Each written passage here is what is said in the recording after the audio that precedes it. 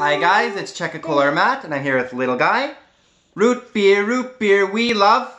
Root beer, root beer, root beer, root beer. So another root beer adventure with little guy. So today we're gonna be drinking caramel cream root beer by Brownie, and this is actually really interesting. I was reading the side, contains milk. So there's milk in this one. Caramel cream by Brownie, and the lid looks kind of cool. She got a flake kind of pattern going on there, and uh, little boy, little girl in the middle there. So let's open her up and see what it tastes like. See if it's twist. Mm, it's kind of hard for a twist, so we'll pop a top. Can you say pop a top? Pop a top.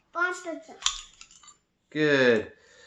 Again, pop a top. Looks like it was a twist again, but seems like it was really hard to twist that. So we'll smell. Mmm. We'll give little boy some because he always likes drinking. Look at that. Black. It's got a lot of carbonization in it and creamy. Looks milky too. So cheers, Gumbe Prost.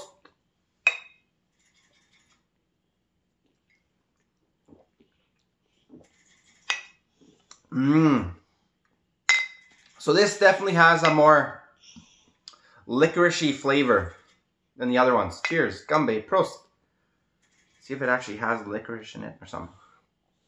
This has a more licoricey flavor, a more sarsaparilla flavor than the other ones. Mm. This is milk. Mm. You can taste though definitely some sort of cream in there. Right, little boy? Maybe he can taste the milk.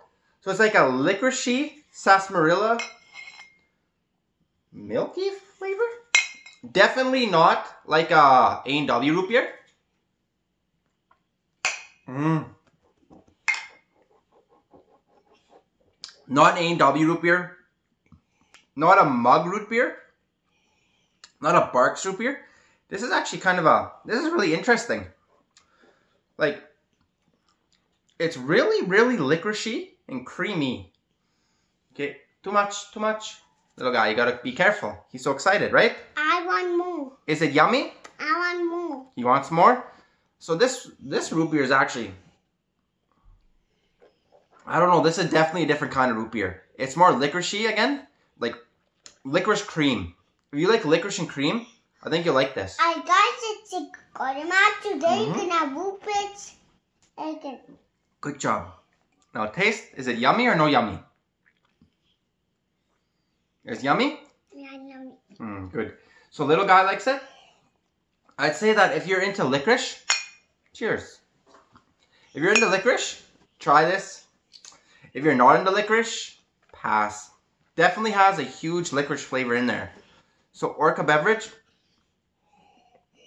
I'm actually getting a lot of licorice. I usually like root beers, but this one is kind of on the, maybe the end where it's pushing it on the licorice flavor like a creamy licorice. It does have sarsaparilla in it, like that root that gives you that root beer, that root beer flavor. But it's going on licoricey. So I'd say this is definitely a different style of root beer. Little boy likes it. No, no, no. This is definitely a root beer for different kind of folk. So thank you guys for watching. Have you ever had brownie before? Caramel cream? Write a comment down below and tell me what you thought of it. Definitely for me, this is not one of my favorite root beers, but it is drinkable. We'll see you guys next time. Checkacola or Matt out. Say bye-bye. Baba. See you next time. Like and subscribe. Cream.